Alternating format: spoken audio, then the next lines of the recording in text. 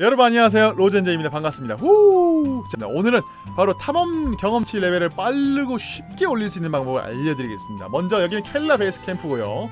quest board 가서 어둠을 까지만 치시면은 어둠을 몰고 다니는 lich가 있어요. 이 quest를 받아주세요. 착수금은 4,700원이고 자 이제 smart contents를 이용해서 메투스를 칩니다. 메투스 협곡인데요. 여기로 갑니다. 자 준비하셔야 할 게 먼저 도화지랑 아, 도화지랑 여신의 날에게 꼭 있어야 합니다. 아, 바로 옆에 이 대밀치를 보러 갈 수 있는 곳이 있는데요. 이곳으로 들어갑니다. 참고로 대밀치는 굉장히 세니까 조심하시고요. 여기부터가 조, 여기부터가 중요합니다. 대밀치는 거의 자정부터 아침까지 나오는데 나오는 시간 다 다르니까 어, 꼭 확인해서 하도록 합시다. 자 가시면 메투스 가운데 쪽에 보시면요 대밀치가 나오는데요. 저기 보이시죠? 자 아크리치네요. 죄송합니다. 아크리치였네요. 먼저 도화지 위치를 알아놓고 방법은 별거 없습니다. 가서 빨리 가서 내려서 스케치 합니다.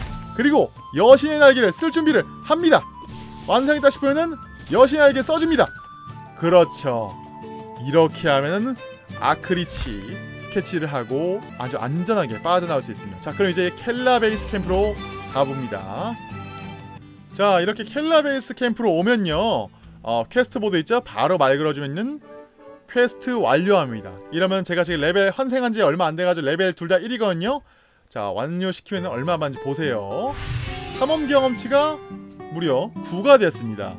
자 참고로 이 아크리치 quest는 한 채널에 하나밖에 안 되니까 채널 옮기면서 하셔도 충분히 여러분들 환생하기 전후나 탐험 레벨 올리기 굉장히 쉽습니다. 자 여기까지가 아크리치를 통해서 탐험 레벨을 올리는 쉬운 방법이었습니다. 감사합니다.